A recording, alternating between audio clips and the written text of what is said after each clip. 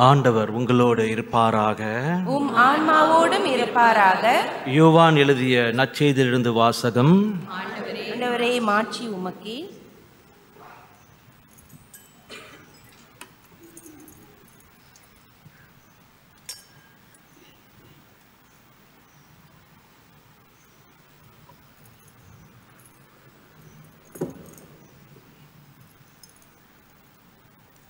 அக்காலத்தில் இயேசு தம் சீடரை நோக்கி கூறியது என் தந்தை என் மீது அன்பு கொண்டுள்ளது போல நானும் உங்கள் மீது அன்பு கொண்டுள்ளேன். என் அன்பில் நிலைத்திருங்கள். நான் என் தந்தையின் கட்டளைகளை கடைப்பிடிப்பது அவரது அன்பில் நிலைத்திருப்பது போல நீங்களும் என் கட்டளைகளை கடைப்பிடிப்பதால் என் அன்பில் நிலைத்திருப்பீர்கள். என் மகிழ்ச்சி உங்களுள் இருக்கவும் உங்கள் மகிழ்ச்சி நிறைவு பெறவுமே. இவற்றை உங்களிடம் சொன்னேன். நான் உங்களிடம் அன்பு கொண்டிருப்பது போல நீங்களும் ஒருவர் மற்றவரிடம் அன்பு கொண்டிருக்க வேண்டும் என்பதே என் கட்டளை. தம் நண்பர்களுக்காக உயிரை கொடுப்பதை விட சிறந்த அன்பு யாரிடமும் இல்லை. நான் கட்டளை இடுவதையெல்லாம் நீங்கள் செய்தால் நீங்கள் என் நண்பர்களாய் இருப்பீர்கள். இனி நான் உங்களை பணியாளர் என்று சொல்ல மாட்டேன். ஏனெனில் தம் தலைவர் செய்வது என்னதென்று பணியாளருக்கு தெரியாது. உங்களை நான் நண்பர்கள் என்றேன். ஏனெனில் என் தந்தையிடமிருந்து நான் கேட்டவை அனைத்தையும் உங்களுக்கு அறிவித்தேன். நீங்கள் என்னை தேர்ந்து கொள்ளவில்லை. நான் தான் உங்களை தேர்ந்து கொண்டேன். நீங்கள் கனி தரவும் நீங்கள் தரும் கனி நிலைத்திருக்கவும் உங்களை ஏற்படுத்தினேன். ஆகவே நீங்கள் என் பெயரால் தந்தையிடம் கேட்பதையெல்லாம் அவர் உங்களுக்கு கொடுப்பார். நீங்கள் ஒருவர் மற்றவரிடம் அன்பு கொள்ள வேண்டும் என்பதே என் கட்டளை. ஆண்டவரின் அருள்வாக்கு. கிறிஸ்துவே உமக்கு புகழ்.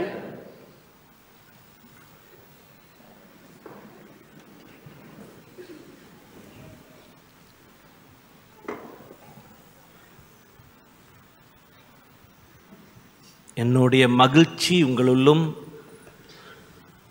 உங்களுடைய மகிழ்ச்சி மற்றவர்களுக்கு கொடுக்க வேண்டும் என்று ஆண்டவர் சொல்கின்றார். மகிழ்ச்சி இன்றைக்கு மகிழ்ச்சியை பற்றி கொஞ்சம் பேசுவோமே. இந்த இந்த டாபிக் இந்த தலைப்பு வந்து எனக்கு ரொம்ப பிடித்தமான தலைப்பு.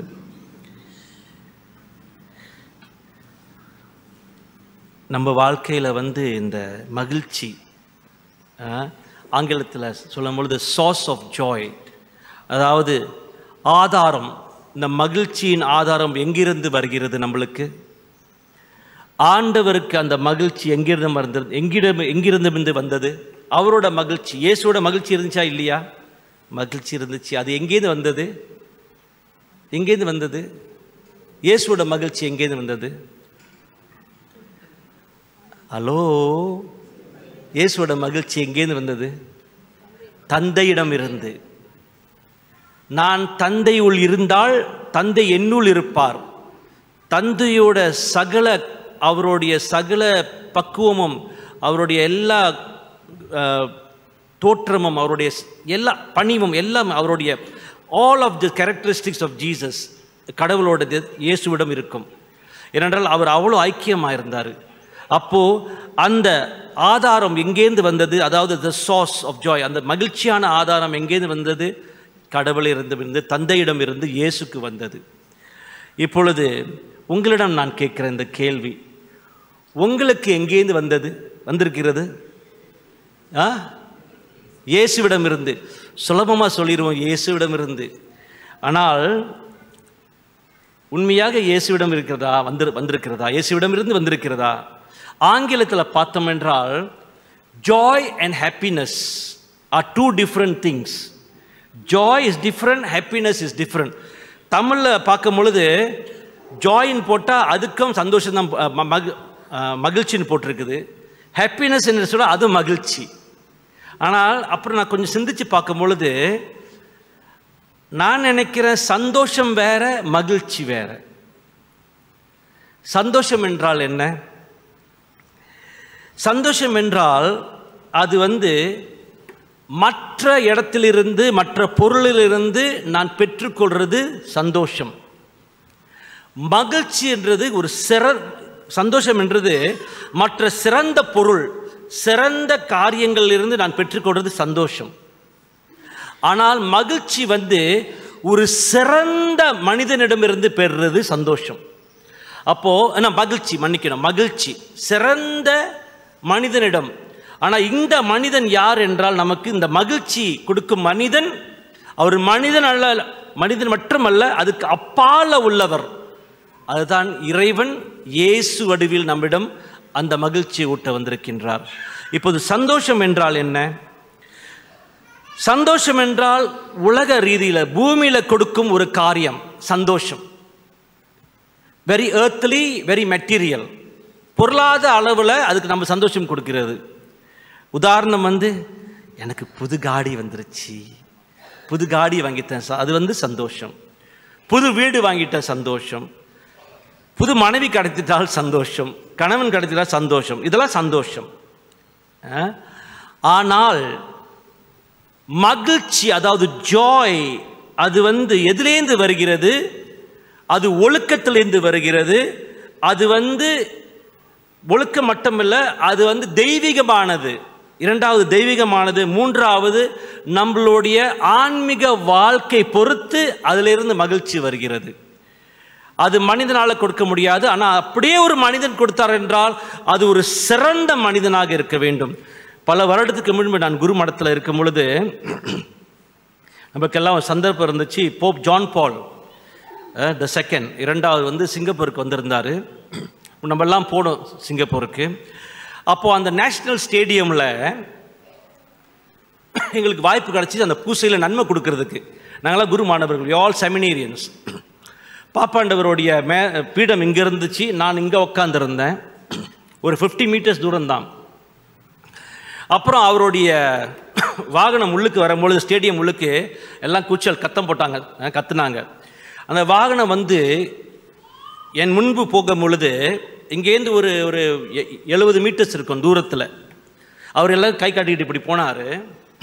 அவரை பார்க்குறோம் நம்ம எல்லாரும். அந்த நேரத்தில் என்னை அறியாமையே என்னுடைய கை முடிகள் எல்லாம் அப்படியே நின்று நின்றுச்சு என்னை அறியாமையே. அவரை பார்க்கும் பொழுது ஒரு ஒரு ஒரு சிலு சிலுப்பு இருந்துச்சு என்கிட்ட. அப்போ நான் உணர்ந்தேன் அப்போ எனக்கு தெரியாது ஒரு புனிதர் ஆகுவார்னு அப்போ ஒரு சிலுசிலுப்பு இருந்துச்சு என் மனசில் என் கையிலையும் உடம்புலையும். அவ்வளோ ஒரு புனிதமான மனிதன். அப்போ அந்த உணர்வு அப்புறம் ரெண்டாவது தடவை ரோமில் சந்தித்தேன் ஆனால் தூரத்தில் இருந்தான் அந்த ஹாலில் இருந்து. அவரை பார்க்கும் பொழுது இன்னொரு மனிதன் நான் பார்த்துருந்தேன் இந்தியாவில் அதே போல். இந்த மாதிரி ஒரு சிலர்கள் இருக்கிறார்கள். அவங்களிடம் முழுமையாக ஆழமாக இறைவனோடு அந்த அந்த ஆதாரம் இறைவனோடு பெற்றுக்கொள்கிறார்கள். The sauce is God's joy they receive it so இதான் சொல்கிறேன் வந்து மகிழ்ச்சி. மகிழ்ச்சி என்று சொல்லும் பொழுது அது வந்து நம்மளுக்கு அப்பால உள்ள ஒரு சாஸ் ஒரு ஆதாரத்திலிருந்து நம்ம பெற்றுக்கொள்வது தான் மகிழ்ச்சி. ஆனால் நம்மளுடைய அன்றாட வாழ்க்கையில் வந்து பெற்றுக்கொள்வது வந்து அது சந்தோஷம் என்று சொல்லலாம். அதில் வந்து இவன் திருமணம் கூட பாருங்கள் திருமணம் வந்து அதுவும் வந்து அந்த நேரத்தில் ச- சந்தோஷம் இருக்கும். பாலியல் அதாவது செக்ஸ் அதுவும் சந்தோஷம்தான். சந்தோஷம் கொடுக்கும். ஆனால் தற்காலிகமாக கொடுக்கும். ஆனால் அன்பு திருமணத்தில் ஆழமாக இருந்தால் முழுமையாக இருந்தால் தூய்மையாக இருந்தால் அது நிரந்தரமாக இருக்கும். அது செக்ஸில் இருக்காது. அப்போது செக்ஸ் வந்து சந்தோஷம். அன்பு வந்து மகிழ்ச்சி. இதே போல தான் பொருட்களிலிருந்து பெற்றுக்கொள்வது எல்லாம் வந்து சந்தோஷம். பண்பார்ந்தவர்களை சந்தோஷம் வந்து நம்மளை வந்து நிறை நிலைத்து வைக்காது. ஆனால் அன்பு மகிழ்ச்சி நிலைத்திருக்கும். யோவான் பதினஞ்சாம் அதிகாரம் இன்றைக்கு ஒன்பதுலேருந்து பதினேழு வரைக்கும் ஆண்டவர் சொல்லுகின்றார் நான் உன்னை நேசித்தது போல நீங்கள் மற்றவர்களை நேசியுங்கள்.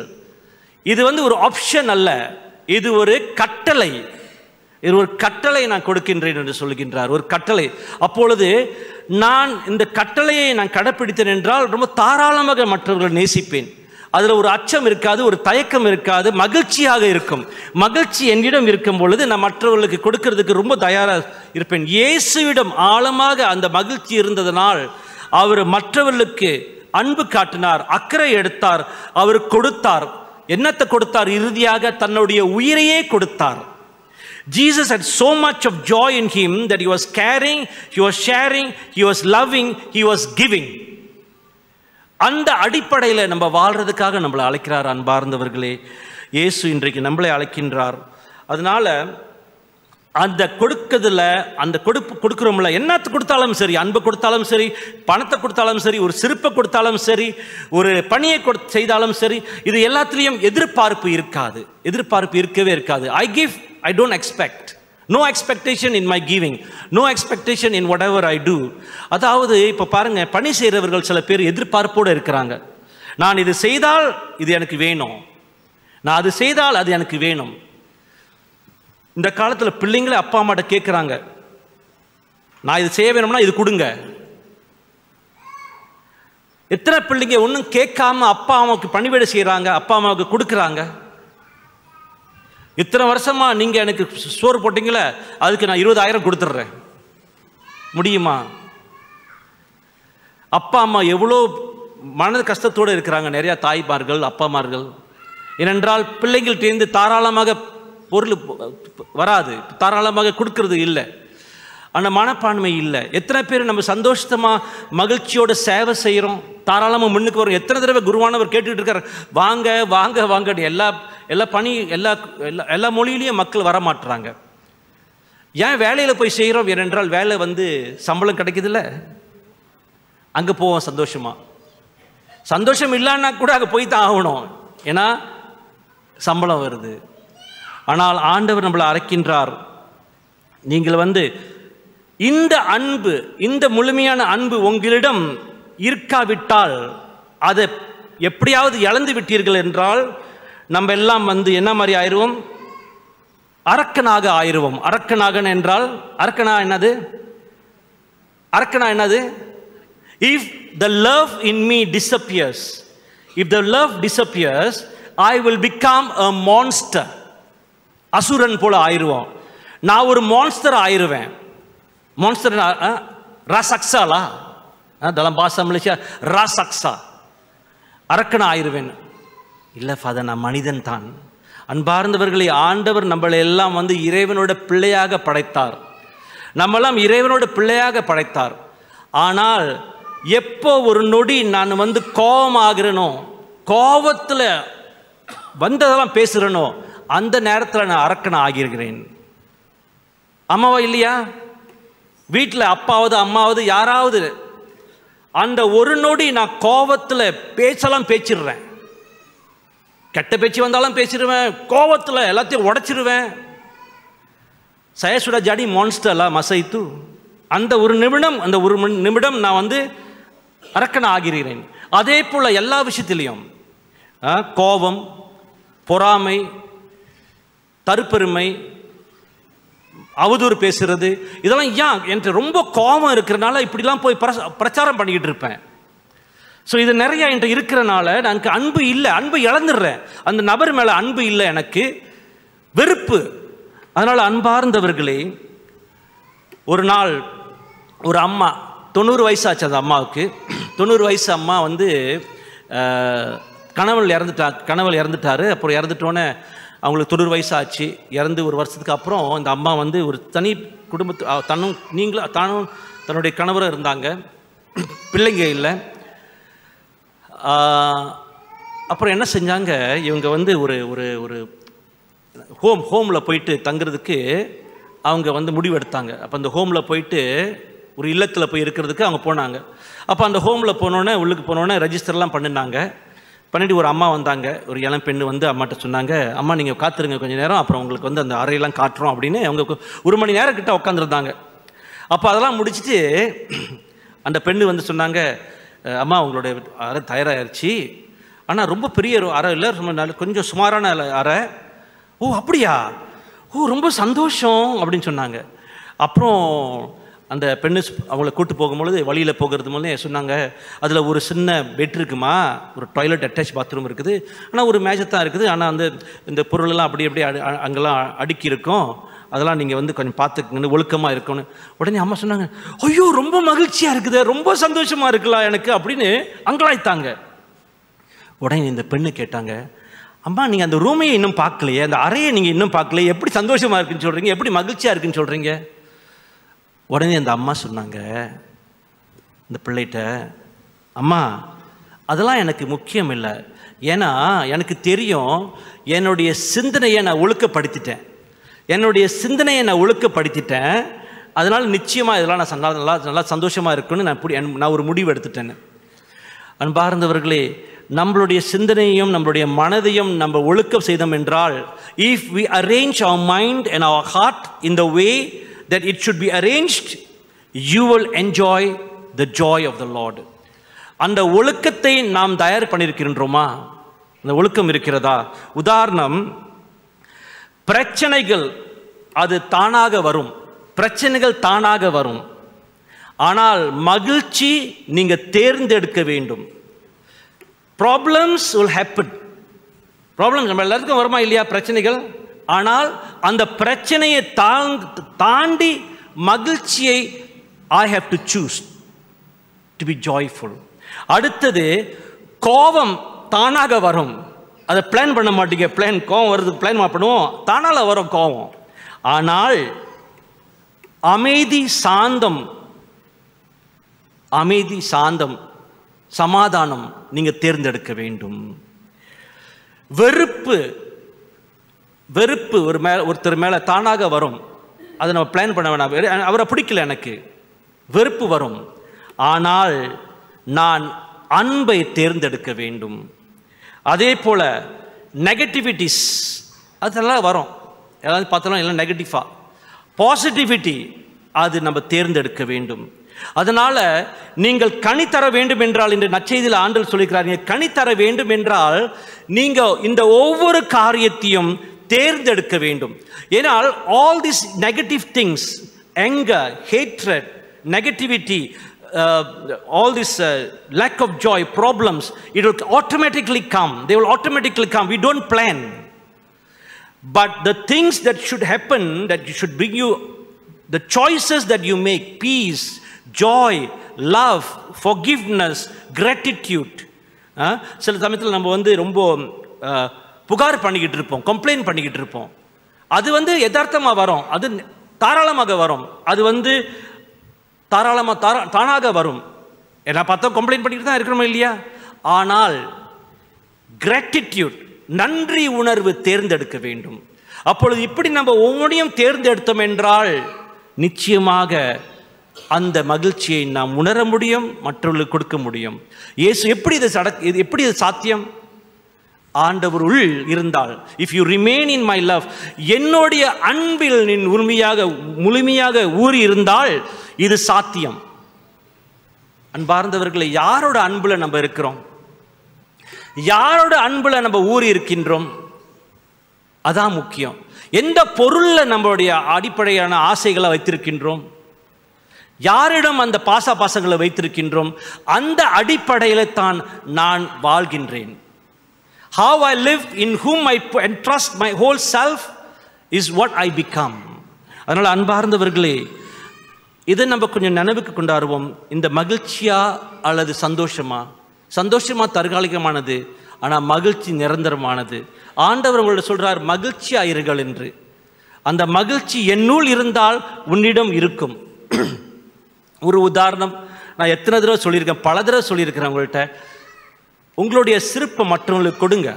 உங்களுடைய மகிழ்ச்சியை மற்றவங்களுக்கு கொடுங்க. சிறப்பு மூலமாக தானே மற்றவங்களுக்கு கொடுக்க முடியும்? காசு எல்லாத்துக்கும் கொடுக்க முடியுமா? இங்கே இங்கே மூ- நூறு பேர் இருக்கிறாங்க. நூறு பேருக்கு உங்களுக்கு ஒரு ஆயிரம் வெள்ளி உங்களுக்கு கொடுக்க முடியுமா? முடியாது. இன்னொரு இன்னொரு நல்ல விஷயம் நம்ம செய்ய முடியும். எப்படிங்க இருக்கிறீங்க? நல்லா இருக்கிறீங்களா? ஒரு நல்ல வார்த்தை. ஒரு பொன் சிரிப்பு. அதே போதுமே அந்த மகிழ்ச்சி உங்களிடம் இருந்தால் அதை செய்ய முடியும். உங்களோட மருகு மகிழ்ச்சி இல்லாவிட்டால் இப்படி குருன்னு உட்காந்துருப்பீங்க வெறுப்பு இருந்தால் இப்படி தான் உட்காந்துருப்போம் இவன் என்னடா சொல்கிறான் நம்ம ஜாலியை நடத்திக்கிட்டு இருப்போன்னு. மகிழ்ச்சி இருந்தால் ஒரு சின்ன உதவி செய்கிறீங்களா உங்கள் பக்கத்தில் கணவன் இருக்கலாம் மனைவி இருக்கலாம் மகன் இருக்கலாம் மகள் இருக்கலாம் அல்லது தெரியாதவங்க இருக்கலாம் ஃப்ரெண்ட்ஸ் இருக்கலாம். கொஞ்சம் அந்த மாஸ்க் போட்டிருக்கீங்களே மாஸ்க் கொஞ்சம் இழுத்துட்டு ஒரு சிரிப்பு சிரிச்சிருங்க. சில பேர் மாஸ்க் போட்டிருக்கீங்க எல்லாருமே செய்யுங்களேன். ஒரு தடவை செய்யுங்க. ஒரு தடவை செய்யுங்களேன். ஒரு மனைவி சொல்கிறாங்க தன்னோட கணவன்கிட்ட இன்றைக்காவது சிரிச்சிங்களே. கணவர் அப்படி தான் சொல்கிறாரு இன்றைக்காவது சிரிச்சேடி ஆ? சிரிக்க மாட்டுறாங்க ரொம்ப பேர். இப்போது சாவு பிணம் ஆ, செத்துட்டோம்னா பிணம் தான் கூ- பிணம் தான் கூப்பிடுவாங்க. நீ ஒரு இது பணம் அப்படின்னு சொல்லுவாங்க. பிணம் கூட போனோம். பணம் அதுக்கு மரியாதையே இல்லைங்க செத்துட்டோன்னே. ஆனால் அந்த பணத்தை எப்படி டெக்கரேட் பண்ணுவாங்க தெரியுமா? எவ்வளோ அழகாக மேக்கப் பண்ணி லிப்ஸ்டிக்லாம் போட்டு அது சிரிப்பு வைக்கிற மாதிரி வச்சிருவாங்க. பாருங்களா எவ்வளோ சிரிக்கிறாங்க அழகாக இருக்குல்ல? நீ பொண பணமா ஆகி சிரித்தா என்ன பலன் யாருக்கு? பணத்தை அப்படி டெக்கரேட் பண்ணி வச்சிருவாங்கங்க அப்படி சிரிக்கும் அந்த பணம். அம்மா ஐயா பணமாக ஆற வரைக்கும் நீங்கள் காத்திருக்காதீங்க. இப்பயே சிரிங்க. இப்பயே கத்துக்குங்க சிரிக்கிறதுக்கு. இந்த மகிழ்ச்சி மகிழ்ச்சி மகிழ்ச்சி என்று சொல்கிறோம்ல சில பேர் தெரியாது. சில பேர் மியூஸ் அப்படி மொத்தமாக இருக்கும். அவர் சிரிக்கிறாரா இல்லைன்னு தெரியாது. அப்படியே சிரிப்பார் பாருங்க. அந்த கொஞ்சம் அந்த மாதிரி மீசை வச்சிருக்கலாம் கொஞ்சம் வேகமாக பெருசாக சிரிக்கணும். ஏன்னா அவர் சிரிச்சாருன்னா அந்த மீசை வந்து முளக் பண்ணி பிளாக் பண்ணிக்கிறது. அதனால் அதனால ஒருத்தர் அப்படிதான் பார்த்தாங்க. தாடிலாம் வச்சுக்கிட்டு அப்படியே வராரு. மீ மெகி மீ அப்படியே தொங்குது. மெகி மீ சாப்பிட்டது இங்கே தொடச்சிட்டு இங்கே தொடக்கலை. அதனால தாடி வச்சுக்கலாம் கரெக்டாக அழகாக வச்சிருங்க. இது நீட்டாக வச்சுக்கலாம் அதெல்லாம் மெகி மீலாம் மாட்டிக்கிட்டு இருக்குது பாருங்க. ஸோ அதனால ரொம்ப சந்தோஷமாக இருக்குது கற்றுக்குவோம் ஏன் இப்படி? டென்ஷன் பிபி நான் டிப்ஸ் கொடுக்குறேன் ஃப்ரீயாக இருக்கிறதுக்கு. சந்தோஷமா இருங்க பிபி குறைஞ்சிரும் ஹார்ட் அட்டேக்லாம் வராது. ஆ, இன்னும் ஒரு செழிப்பே இல்லைங்க. நான் இயேசுவின் பிள்ளை எதுக்குமே பயம் இல்லை ஆனால் இதான் பயந்துக்கிட்டே இருக்கும். சில பேர் பார்த்தீங்கன்னா தைரியநாதன் பேர். ஆனால் இதுக்கு தைரியமே இருக்காது. ஆரோக்கியநாதன் பத்து தடவை கோயில் ஆஸ்பத்திரிக்கு போயிட்டு வரோம் ஆ, என்னங்க இது? So, அதனால ரொம்ப சந்தோஷமா மகிழ்ச்சியாக இருக்க கற்றுக்குவோம் சில பேர் பார்த்தீங்களா இப்போ நான் ஜோக்கெலாம் அடிக்கிறேன் இது நிற்கும் அப்படியே. ஜோக்கும் ஜோக்கு இது பெரிய ஜோக்கு என்னால இது பிரச்சனை உனக்கு? மாமியார் மா பக்கத்து வீட்டுக்காரன் கூப்பிட்டு போயிட்டானா? மனைவியை. டென்ஷன் டென்ஷனாக இருக்கிறாரு சில பேர். இதுங்களா இப்போ நான் அதெல்லாம் சொல்கிறேன்னா மகிழ்ச்சியை ஊட்டணும் மகிழ்ச்சி. இப்போ வீட்டுக்கு போகும்போது அந்த மகிழ்ச்சியாக போங்க சில பேர் சிரிக்கவே தெரிய மாட்டுதுங்க. சில பேர் சிரிச்சா எல்லாம் ஆடும் ஆடும் இதனால் ரொம்ப மகிழ்ச்சியாக இருக்கும் கற்றுக்குவோம் ஆண்டவரிடம் கற்றுக்குவோம் இயேசு இயேசு எப்போ சிரிச்சாரு? சொல்லுங்க இயேசு எப்போ சிரிச்சாரு? இயேசு சிரிக்காட்டினா அவர் ரொம்ப சாதாரணமாக இல்லாட்டினா அந்த பிள்ளைங்கள் குழந்தைகள் இயேசுவிடம் போகாதுங்க இயேசு ஒரு ஒரு அரக்கனாக இருந்தார்னா மான்ஸ்டரா என் பிள்ளைங்க குழந்தைகள் அவரிடம் போவாது. பைபிள்லேயே போட்டிருக்குது. இந்த பிள்ளைகளை நீ நிப்பாட்டாதீர். உங்கட்டும் என்று வரட்டும் வரட்டும் என்று. அதனால தான் நான் ஸ்வீட்ஸ் சாக்லேட்லாம் வச்சுருக்கிறேன். இந்த பிள்ளைங்க வந்தால் ஒவ்வொரு பிள்ளையும் குழந்தைக்கு கொடுக்கறதுக்கு. மறந்துட்டேன் இந்த வாரம் கொடுக்கறதுக்கு. ரெடி அடுத்த வாரம் ரெடி பண்ணுறேன் இல்லைங்களா? பாப்பாலாம் சிரிக்குதுங்க. பிள்ளைங்களுக்கு சிரிக்க தெரியுது. அப்பா அம்மாவுக்கு தெரியாது. குழந்தைய பார்த்தா சிரிக்கிறீங்களா இல்லையா? நாமும் குழந்தை போல இருப்போமே. கொஞ்சம் குழந்தை உங்களை பார்த்து சிரிக்கும். இல்லைன்னா உங்களை பார்த்து முறைக்கும். அதனால் அன்பார்ந்தவர்களே ரொம்ப மகிழ்ச்சியாக இருக்க கற்றுக்குவோம் ஆண்டவர் உங்களை தொடர்ந்து ஆசீர்வதிப்பார். பணம் ஆகிற வரைக்கும் காத்திருக்காதீங்க. நம்ம எல்லாத்துக்கும் உயிர் இருக்குது. ஆண்டவர் உங்களை ஆசீர்வதிக்கின்றார் அன்பு செய்கிறார். சந்தோஷமாக மகிழ்ச்சியாக இருக்க. கற்றுக்குவோம் ஆமீன்.